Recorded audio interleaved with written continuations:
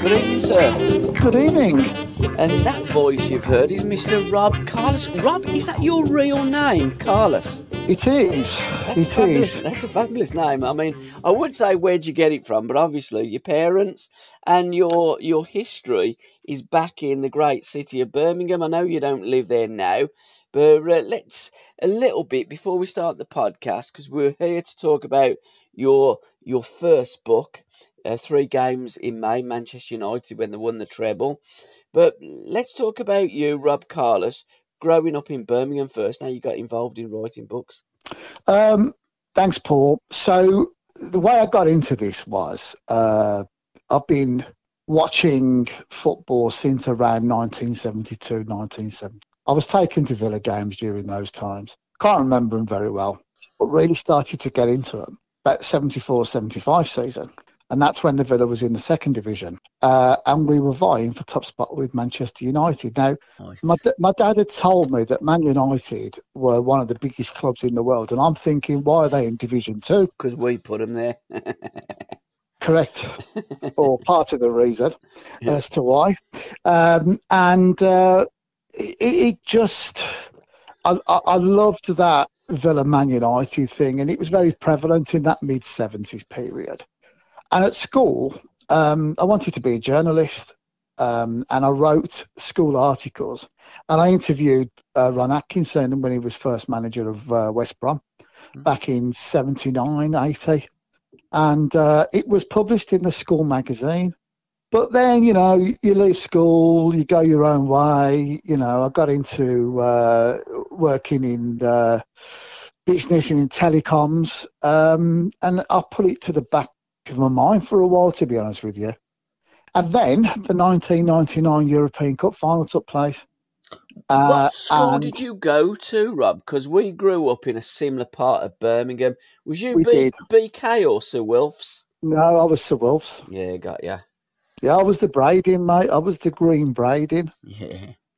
Yeah, exactly. So, yes, um, was you BK then? No, I was Kingshurst with Gary Shaw. You was. Shawsey Oh, was okay. Shawsey was fifth year when I went to Kingshurst, and that's where my my first understanding of Gary Shaw happened at Kingshurst Juniors when my teacher got me out of class and said, "You can't play for the fourth years yet because you you're a second year, and the only player that's ever played fourth year football at second year is Gary Shaw." There you go. And I thought, who's Gary Shaw? And then we went to, as you're going, because we're a similar age, you went to Wilfs in Tile Cross. I went to Kingshurst and I watched this kid, this blonde lad, on the playgrounds. And I said to my pals, who's this kid here? And I said, that's Gary Shaw. And I said, no wonder he played in the second year, in the fourth year. And that pretty much was the start of your Villa love growing up and watching Gary Shaw from the Holte end. I watched Gary Shaw from the big playground at Kingshurst Comprehensive. Yeah, well, there you go. A little bit more uh, personal Yeah, absolutely. for your one, mate. Very Yeah. personal. But yeah, that's some great times watching the Villa during um, that period. I mean, I could go back to the 76 77 season Great when he season. had Andy. Oh, it's fantastic. Swashbuckling football is what I'd call it. Uh, during that season, we finished fourth, and we got to the uh, well, we won the League Cup, and we lost to United in the uh, quarterfinals of the FA Cup as well. So it Yeah, could have been a because Andy. fantastic. That's yeah. because Andy didn't play. Andy was injured. If Andy would have been fit for the whole of the season, you could have been writing your treble book about Villa 76 77 because they were that good and they were that close from winning the treble. But That, roll it that's on. right. And and then in that same year, Liverpool nearly did it as well. Well, you Because see, the argument is with the treble has any English club ever really won the proper treble?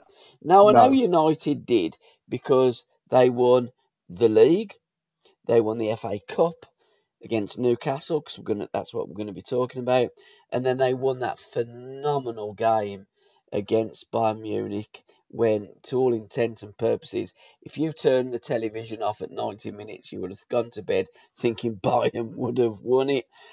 But, you know, when you look at it, the year before, it was Arsenal that won the league. So, in new money, if you finish in the top four, you go into the Champions League, but they're not champions. In the olden days, when Villa won the league, they then went into the European Cup. You had to win your own Football League Championship. So, you know, it is a grey area, but, you know, it is what it is. We are where we are, and United did win, but Liverpool were very close in 77 when Manchester United beat them 2 1 at Wembley. Correct. Yeah, correct. Um, they'd won the league uh, they lost the FA Cup, and then a few days later they beat Borussia Mönchengladbach in was... the uh, 77 final. So yeah, they were very, very close. Because mm. again, in them days, the games were close as well, wasn't they? You'd have the, the FA Cup, and then it was pretty much on to, to the European Cup. And I think that's what happened with Manchester United. They beat Newcastle at Wembley 2 2 0, Paul Scholes and my favourite player of that era, Teddy Sheringham. And then on the Wednesday after, they met Bayern Munich. But let's go back to the beginning of that season. Arsenal were the champions, Manchester United, it was the class of 92 plus a few other players. Roy Keane was the main man. But in that final, Keane only lasted eight minutes, didn't he? He did, he, he did, and, and you're quite right in what you say there, Paul. In in terms of started the 98-99 season, it did look as if you know they'd uh, handed the baton over to Arsenal, mm. uh, and they would be the dominant club. And in the book, um, they played 63 games, and, and and I call the first one the Charity Shield. Yes. Against against Arsenal, and Arsenal won it at a canter, three goals to nil. Mm. I've got quite a lot of fan contribution in the book, and all of them say that you know they, they came out of the ground that day on that boiling hot August season opener, and uh, you know all the Arsenal fans were saying that that's it. You know you've handed everything over to us now. You've had a good run for the last four or five years, and that, and and now it's down to us. But it was neck and neck during the season with, with both of them. It was a fantastic two teams, and obviously culminated in the uh, FA Cup semi-final, which was the turning point of the season for United, and the reason why I wrote the book in the end. And the cup semi-final, it was um, it was a replay, wasn't it, at Villa Park? Was a replay. Um, we played that they played at um, Villa Park on the Saturday and then they were back on the uh, Wednesday for it. It was it wasn't a great game in that first semi final, uh, cat and mouse, uh, and then it just lit up in the uh, in the semi final. But you know, it, it, it's fine lines, isn't it? Life is fine lines. Football is fine lines. If Bergkamp would have scored that penalty in the 90th minute, Arsenal would have gone through. Uh, they would have probably won the league as well uh, and and beaten Newcastle again in the in the FA Cup final. But it wasn't to be, and and, and to me, Peter Schmeichel during that game, you know, he he he was the pinnacle reason, the the turning point that you know gave Manchester United the uh, impetus to go on and do what they did in May of, of that year. But he'd been vilified at the start of the season. Um, he had intended to retire and told a few select people at Manchester United. And perhaps the fact that he hadn't told everybody else meant that he started the season in bad form. Mm. And people were saying that his career was over. But as United picked up the momentum going in from the end of 98 to 99, that is when he started to come into his own. Wasn't that Schmeichel's last season uh, playing for Manchester United though the the eighty. It was. Yeah. Yeah, yeah, the ni- the 98 99. Yeah, His yeah. last thing was to pick up the European Cup with Roy Keane uh, suspended for the final. So it was, you know, that was the last thing he did as a Manchester United uh, player. I mean, You that know, ain't what a bad. a way to bow out. Again, it, it, when you're looking at players, I mean, what age was Schmeichel when he bowed out at United? Because he did play for Aston Villa and he did play for Manchester City. So, you know, what age was Schmeichel then when he bowed out at United? Because it's all I think he was about 31, 32, mate, Mm, when, when, he did so, because he came to the Villa when he was about 35, yeah, yeah. something like that, and, Mm. and and the season he was with us. So yeah, you know, he'd had, you know, a great eight or nine years at Manchester United. And You again, know, when and you he won on many points, didn't they? When you Oh, think absolutely. When you look at Schmeichel, you look at the star jumps kind of save. He, he invented that, didn't he? He made himself so big, he put, you know, literally like a starfish coming out to forwards and frightening the lives out of them. Well, he, he gave him a good 15 points a season, didn't Oh, 100%. What a, I mean, one of the great the great goalkeepers that we've seen, you know, in modern Totally. times. Because I mean, what we do tend to get caught up in. I don't get caught up in that, but lots of people do these days, and certainly the news outlets do.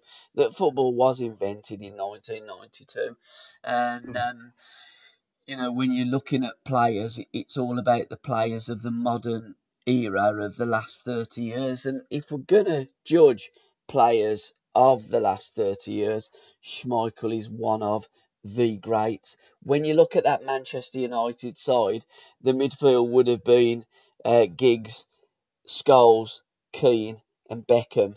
What a tremendous midfield. It's not bad, is it? No, and then of course the forward line would have been Yorkie and Cole and um, Solskjaer and Sheringham. A great four pair, any two from that four.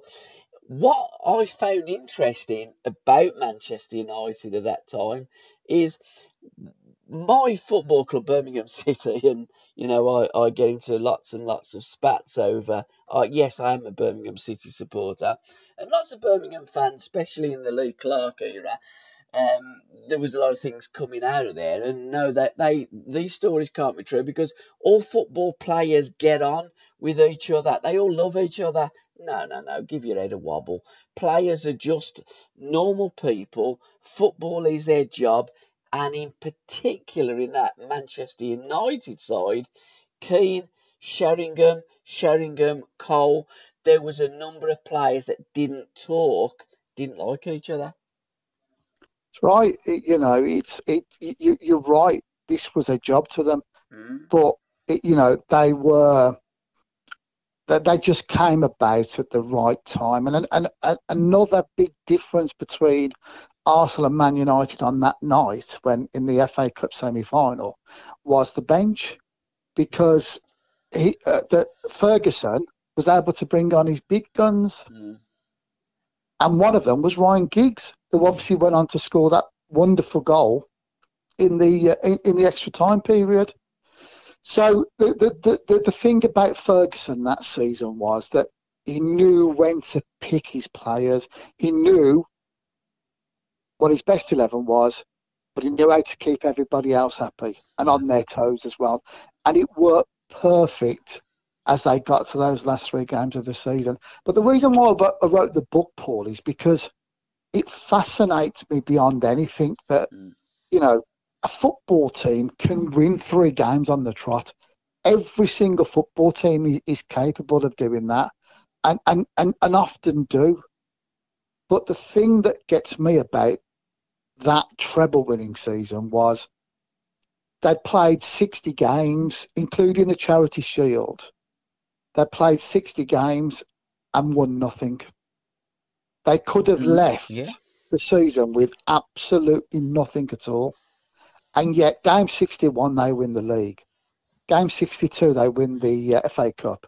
And then game 63, they win the Champions League as well. And they do it in the final seconds of the game. And that was the big thing about United that season. They just never knew when to give up. You know, I go back to the first game of the season because in the book, there's a couple of chapters called Red or Dead. Yeah. Red being United doing well or the dead part is that they didn't do too well. So the first game I pick is the Arsenal three, Manchester United nil in the Charity Shield, and everybody's going right. That's it now. Wenger's going to do it again, and all that kind of stuff. But even in that first home game of the season, they played Leicester City and were two down with around 12 minutes to go. And Messrs. Beckham and Sheringham score goals. Uh, and that they, they, they, you know, get back in the game. They, they didn't win it, but they drew 2 2.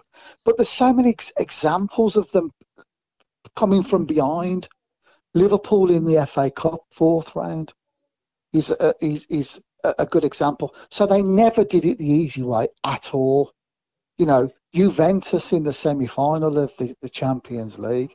It, it's just, to me, Manchester United in, in, in that nine month period depict the greatest of sporting excellence.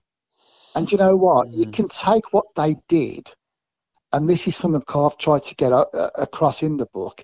You know, it's life itself as well, Paul. You never give in.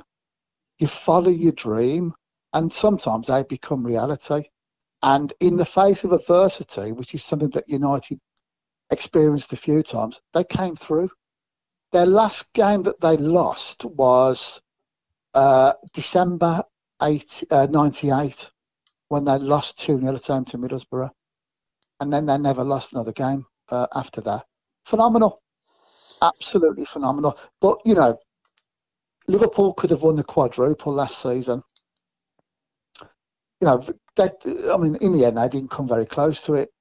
They, they came close to winning the treble in 76 77 uh, season, as we've said. But it was it's it's how United did it as well.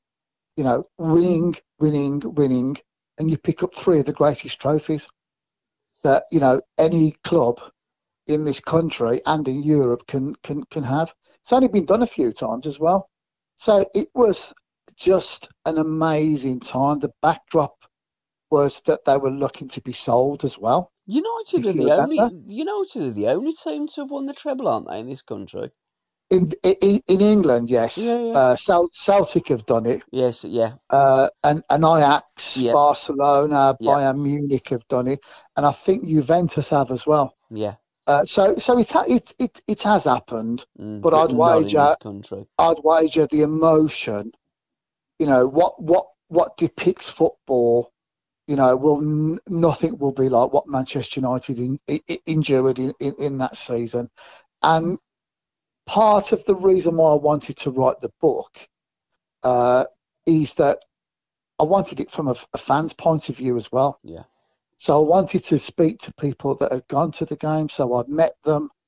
I zoomed calls with them. You know, we did on the phone like we're doing now and all that kind of stuff. And the stories were just absolutely fantastic. You know, you, you, I went through the emotions with them. I felt like I'd been there with them. Mm.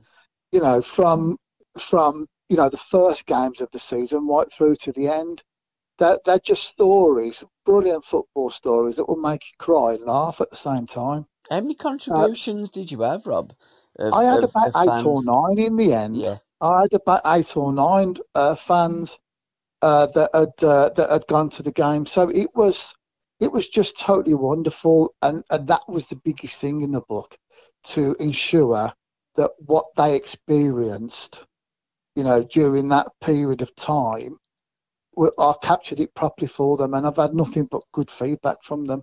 Good. So it, it's it, it, it's that was important to me, mm-hmm. you know. And I had uh, the likes of Clive Tyldesley, uh, who obviously did the legendary commentary that day. Yeah. Uh, I've had some great contributions from him. Steve Bruce had given me some. Um, uh, did great forward for me as well, as did Neil Custis from the Sun, who incidentally uh, became the chief correspondent uh, for the Sun for them in the um, summer of 1999. I bet he was. I bet final. he was torn, wasn't he? That, that Geordie boy. yes, yes, yes, exactly, exactly. But he he'd gone to the final and was in the press box, but he'd gone there not to work. It was a bit of a busman's holiday for him, mm. uh, and he, he found his uh, then girlfriend up on the, the morning after in Barcelona and said, I want I want to cover this. and then the the I think it was a guy called Peter Fitton retired, and he got the job, and he's been there ever since. Um, so it's um, it's just I've had some fantastic stories. The players have given me a bit as well as as and when they can. But what you know, players I just, have contributed, Rob? Well, as I said, I've got Steve Bruce. Uh, yeah. Uh, I've got some, um, you know, smaller quotes from from other players as well. Mm-hmm. Uh, Roy Keane uh, is in there. It's just bits that you know I've been able to pick up as well. Um, so you know, and I obviously acknowledge. So it's it's been a great, how can I put it, across the board view from the you know from the people with the mics to the people with their football boots on to the fans. It's just a you know just a marvelous marvelous story. so that that goes on all, all through the book. And have you found it being a because with these these books, generally speaking, I think um, Neil Custis is a great example. And for for me, I always believe that you should write if you're a professional, you're a journalist, you should write your love is football, but not about your own club because I think you can get too close to your own club. So writing about other clubs and then you get that information from the fans, from people that are around the football club, some of the players, etc. I think you get an even greater bonding and an even greater satisfaction in your production when you do something that's not so close to home, but very close to heart. Totally true, mate. Totally true. You know that that's exactly what I found. I'd had this story in my head almost after that final whistle because of the way that they won those three games. And I always said I wanted fan contribution, mm. but I just kept it in my head. And then we had lockdown, and then I thought, yeah, it's time now to, to do the book. So yeah, I I, uh, I did a lot of research, spoke to a lot of people. Uh, I got nothing but respect for the Manchester United fans that I spoke to. They were just absolutely wonderful with me. And another reason why I wrote the book, Paul, as well, uh, if, if, I may, is that um, I've, I've, wrote it in association with prostate cancer. Yeah. Who uh, again donations from from the book as well, and the reason for that is that my dad had prostate cancer, uh, and he'd recovered from it, but he decided to go on to their um, I'll call it guinea pig for, for want of a better word for the you know for the drug trials. Yeah. Uh, and at, at, times, mate, it really, really messed him up. Mm. But he always said, I, I want to do it because of the fact that I, am allowing people in, you know, down the line to, to have a better quality of life. Yeah. And I went to him about 18 months ago and said, look, I'm, I'm thinking about doing this. And he went, son, write the first chapter and bring it back so I can have a look at it. So I did exactly that, Paul. I wrote it uh, typed it up, took it to him, sat there.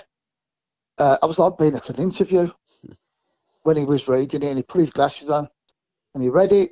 15 minutes later, he puts the paper down, takes his glasses off, and he says, Son, you've got to write this. And I just smiled at him and I went, Dad, if I do it, I'm going to get prostate cancer involved. He said, Do that, that would be a lovely touch. So I got prostate cancer involved, and a couple of weeks later, Dad passed away. Oh dear. But but he will. But and, and, and you know, it, it's it's the biggest cancer killer in men. Mm. So you know, for for me to have it in my in honor of my dad and knowing that prostate cancer involved in it, you know, uh, it, and, and they've got a bit in the book as well where that, where they write about, uh, you know, the uh, the, what they're trying to do with the charity. So it was just wonderful, and the book is dedicated to my dad as well, um, along with uh, those that perished in Munich in 1958 as well. Yeah, I mean, what a lovely touch. So I'll make it poignant. Yeah, and what a, and again, what a great touch. United European Cup winners uh, in '68, 10 years after Munich, and in uh, 1999. Ferguson, you mentioned fine margins. I do a podcast with with with Huddy, and we always talk about how instrumental management is, and when Fergie walked into those gates there at Old Trafford, it wasn't all plain sailing, and he was arguably a, a game away that that replay against what was it, Crystal Palace? No, not it was Nottingham Forest. Was and it I'm glad Nottingham you mentioned. Forest? Yeah. Yeah, I'm glad you've mentioned this because I wanted the centrepiece to be those three games in May, hence why it's titled that. But I wanted to go back 10 years before and 10 years after. Yeah. And it starts off with the FA Cup draw in December 1989, where Forest are drawn at home to um, uh, Manchester United. It was chosen as one of the live games of the BBC that weekend in January when we do that third round. And, you know, the, the general consensus was he loses this and he's out of a job. Uh, and they won 1 0 through Mark Robins. Um, but what people forget is that in the next round, they played Hereford away. And that was another banana skin where he Mm. could have lost his job. But they won 1 0 with Clayton Blackmore in the 84th minute. And then they started to get build momentum from that moment onwards. And they never played at Old Trafford once during that campaign. It was away games all the way through to the final.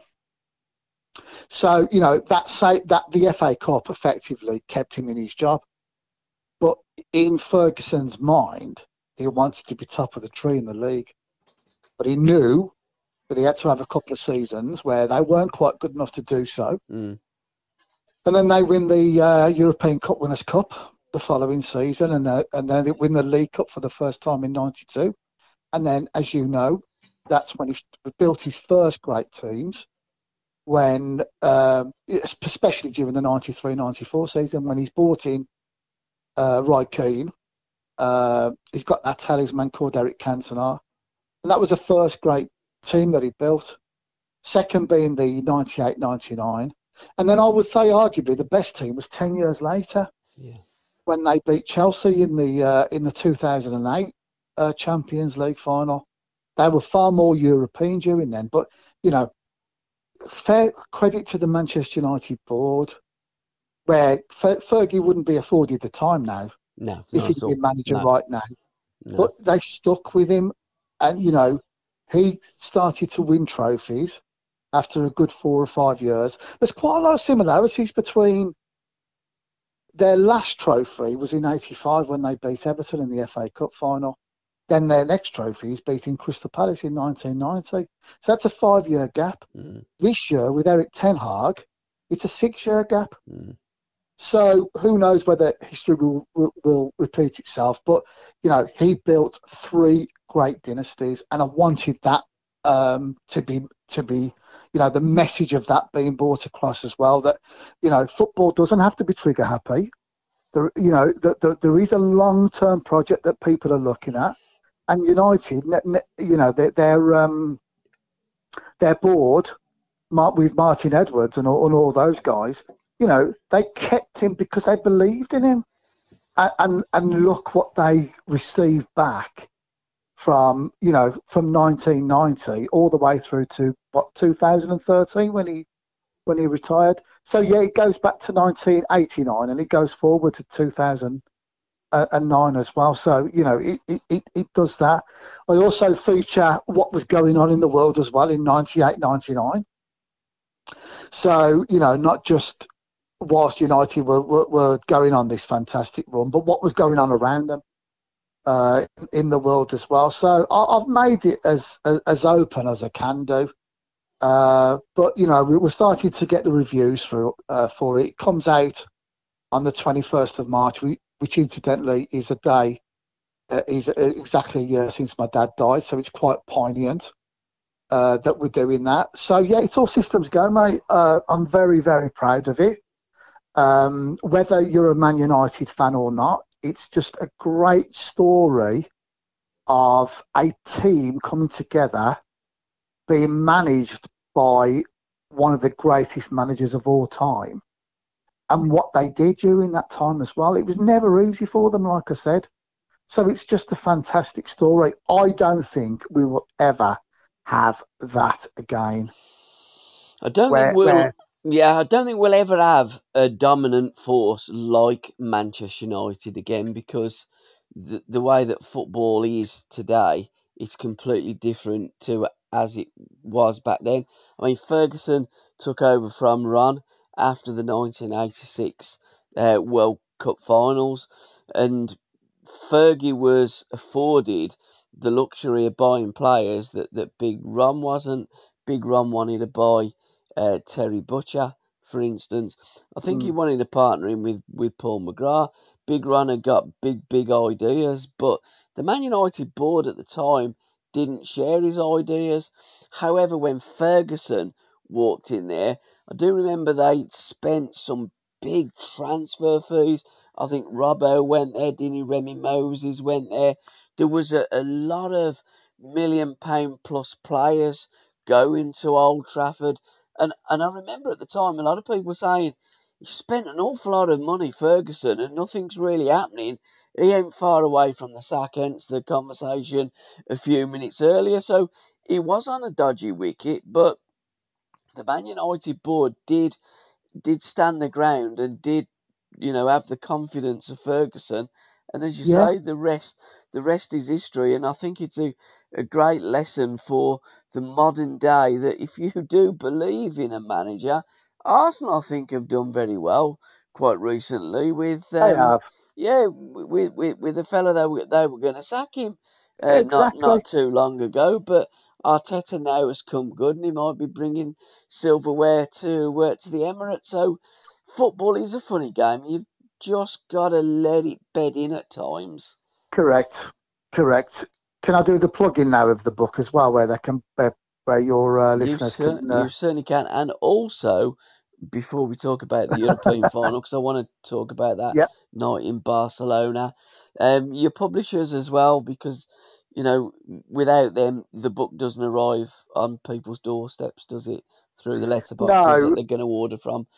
No, I've um, I've gone with uh, a, a, a, a publisher called Morgan Lawrence. Um, two guys, Matt and Barry, that uh, run the show there. I pitched it to them. We went through various scenarios, and they've been nothing but supportive uh, on that. So you know, they're getting busy for the uh, for all the pre-orders that are going out now. And if any of your listeners want to buy the book, which is at fifteen ninety nine with donations made to prostate cancer. All they need to go is uh, all they need to do is go to www.morganlawrence.co.uk and all the details will be on there. So yeah, I'm I'm very pleased with my publishers. You know, they've gone through every step with me, and we've uh, you know we've gone through all the the doubts and the hardship and all that, and we're coming out the other end, and we're all you know gearing for uh, hopefully uh, a good book for people to read. And let's talk about Barcelona, that balmy night. Bayern Munich 1, Manchester United 2. But at 90 minutes, it was Bayern Munich 1, Manchester United nil. It was an incredible final.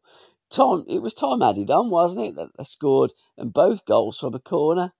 It was, um, as you quite rightly say, you know, uh, Bayern took the lead in the first uh, six minutes. I think he was on the sixth minute uh, when they scored, uh, and then there was no more goals until, as you quite rightly say, the the injury time part. But if you remember, um, Bayern had hit the post, had some really good chances in the last 20 minutes or so to put the game, you know, beyond the reach of, of United.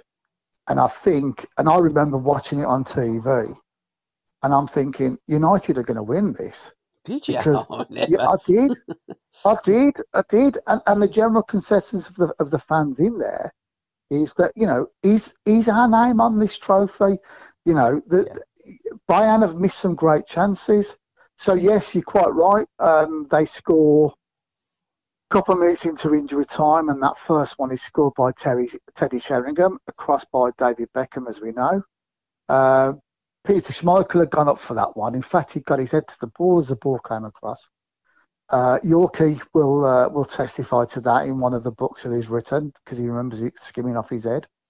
uh, and then goes back into goal. Uh, but when he's going up for the corner, uh, it's quite funny really because Fergie and uh, Steve McClaren, who was his number two at that time, were going, "What's he doing coming up for this?" But you know, he played his part in it, and then he goes back to the goal. And when when they go back to the centre circle to kick off, you know, you've got Ole and uh, and Sheringham going, "This is great. We've got another half hour of this." Mm. And then, um, you know, Beckham puts that corner in. Sheringham flicks the, the ball on, and Ole's there to put his foot out, and it goes high into the net, and they've won two one. It's absolutely amazing. But there's there's a great story in the book by one of the guys who uh, was also one of the stewards on the night for Manchester United, and he'd been told to leave the game on on, on 85 minutes effectively to get back to the coaches, so he can make make sure that the fans get back in, in time. And he's going out the gate. He sees um, none other than George Best. Blimey. And, Be- and Best go, yeah, we've lost this now and, and whatever. And you know, just, i need to find the nearest bar. Basically, is what, what George Best said to to to uh, to one of my contributors, uh, and then they hear this roar. Uh, my uh, my contributor gets a, a, text on his phone off his son who's still in the in the uh, stadium. We've scored, Dad. We've equalised. So he's dragged George Best back, and he's dragged them all back in, thinking we're going to have another half hour, so we need we can't go to our coaches yet. And as they're walking back through, the second goal goes in. So then they have to go back out again and think. But I mean, it's just wonderful stories like that. You know, the, the United fans that I spoke to, they, they they didn't really see that second goal because they were still celebrating yeah. the fact that they got back into the game. So it's just it's just a wonderful sporting story, which whether you like Manchester United or not, it, it it's just true sporting excellence, mate. Absolutely. I mean, I, I I love all football.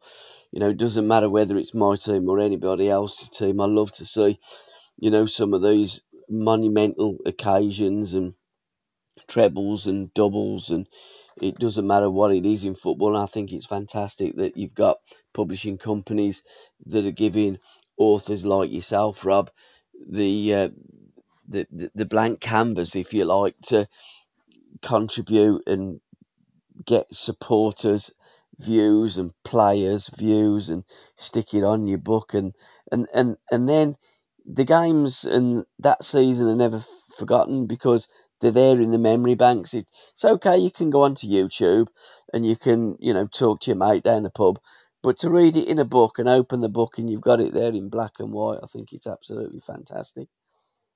Well, I hope the readers um, enjoy the stories from the fans because that really is the crux of it. Mm. You know, you and I have stood on the terraces. We, we've we've we didn't we didn't get on the pitch, you know, to play in these big games, but we stood on the terraces and we we had our mates there, and we've got our own stories. But to hear the Man United fans uh, talk about it, it's just wonderful, mate. Just totally wonderful. Absolutely, and you've got another couple of books um, out, and one Shaun Teale you've been working with Shaun, and the League Cup.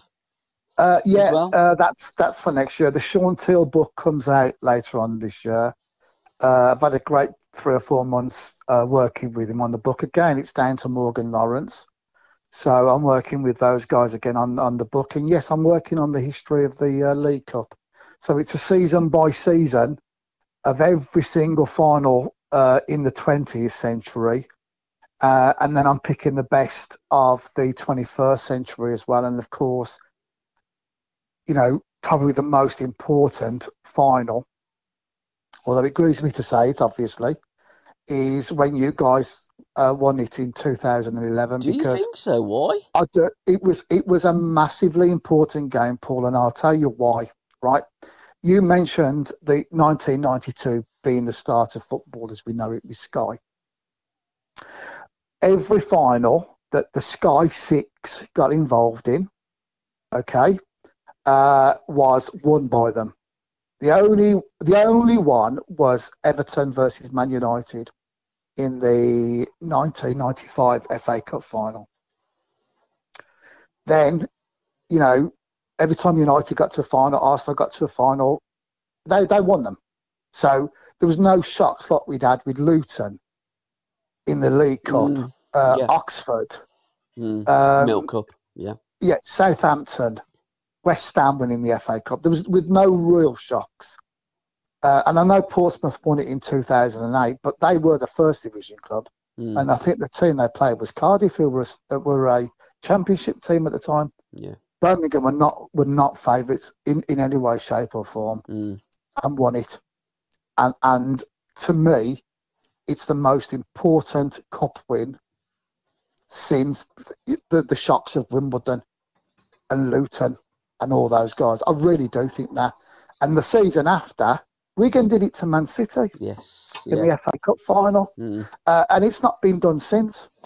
You know, Swansea won it a couple of years later, but they beat a fourth division team Mm. or an old fourth division team in Bradford in the final. So yes, um, that that part will be a big contribution from from Birmingham fans, and I'll obviously be coming to you for it as well, sir. Yes. I've um, I've tried my best. I've put a few uh, heads towards your your way that You have, that played you in have, major going to have finals some in the great stories. seventies. Yep, yep, I've got some uh, great stories coming up. So thank you for that, sir. I do appreciate it. And going back to Dwight Yorke, did you um, get any contribution from John Gregory? Because he, he he was the manager at Aston Villa when Dwight Yorke got transferred to Manchester United, wasn't he? He wasn't Yeah, really happy at the time, was he, John? He wasn't. He wasn't. It's a good job he never had a gun uh, at the time. Can you imagine that being said now? I know it's crazy, isn't it? You It can't even call a bloke a bloke knock these Gary days. Lineker off that top spot. Oh dear Me. all day long, all day long today. If you'd have said that, most definitely. But we batted, we never batted an eyelid, did we? No, because because we were proper people back in them days. You know, John Gregory, if I got a gun, I'd shoot the bastard. But I but it didn't actually mean that he was going to get the gun and shoot him. Of course, like he that. never. But that's what Yeah. people say. That's what football people used to say and, and certainly think back in our day. It didn't happen, of course, but but that's what it was. It was a different world. I It think was it was a different better world. world. We said what we what we what we thought, and we didn't have social media jump on our backs and wanting to take us to task. And you shouldn't be saying that. You can't call him that. You can't. You know, you can call anybody what you liked in our day. We were big enough. We were bold enough. We were brave enough to take it on board and you say, you know, sticks and stones may break my bones, but words will never hurt me. And I think the kids could take a, a big part out of that phrase because that's what I've I, I agree. Can by. you imagine, mate? Can you imagine that if Gregory said this today, Oh, it would be Your- social media feeds. Oh, dear me. would be absolutely full, mate. It would be full. But um, it, it, that that is mentioned in the book as well. I'd love But, John uh, to go on his socials and say that about Yorkie. Well, I'm. Uh, I, I also host uh, events for the for the uh, villa. Excuse me, mate. Um, down in um, down by the coast as well because I live uh, down here now. Yeah. And uh, I'm hoping that John Gregory will be there one day, so I can. Uh, I'll ask him that very question. But if you remember, none of us. It, uh, we, it wasn't even a conversation piece in Nah. the pub. No one Oh, you see what Gregory said? didn't know I about an yeah. No Typical John. Yeah. But again, that was it. that's what it would be. Typical Correct. John. But you had managers that would say it like that back in the. It was before, you know, the, the Sky TV, the BBC, the the the media savvy football industry got its claws into it, and and it's now such a sterile place where journalists can't talk to players. Players are, are very away from it. You get the mix zone. You'll be lucky if you get a chat with, with a player. In those days, everything was open. The the journalists would travel on the trains or the planes to, to the games with the players, and there was a you know there, there was a togetherness within that football club, and, and now Correct. now now it's not, and you know Correct.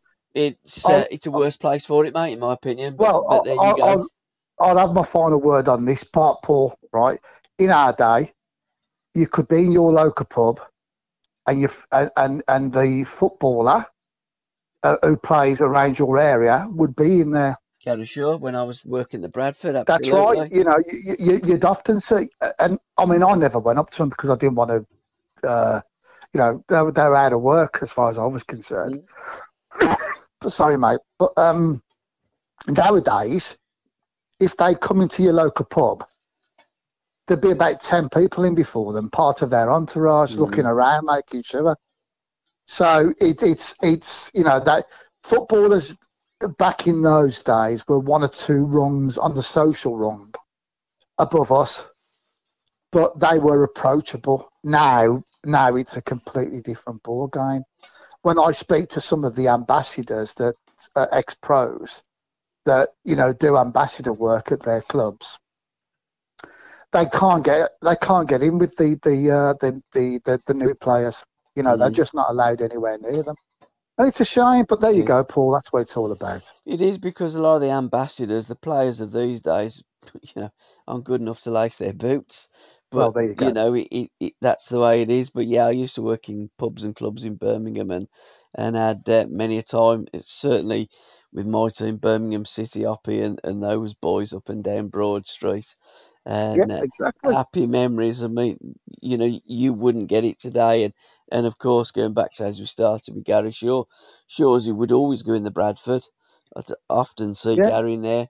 He'd be in there. He'd Yeah, have a shandy. Exactly. I mean, Yeah, to be fair, exactly. it's the only time I know Shawsy not drink proper alcohol. It was always a, sh- a shandy in them days. Well, there you go. but a There you man, a man of the people, and just a working class kid that made good, which is what all them players and up to really 1999, you know, them players were. Ex- exactly. But yeah, it, exactly. but then it changed when the millennium clicked over. Something a little bit like with 1992, 93 with the Premier League, the millennium bang changed everything, and That's another story for another time, mate. let's try and turn the hands of time back. But thank you so much, Rob, for your contribution, for your book.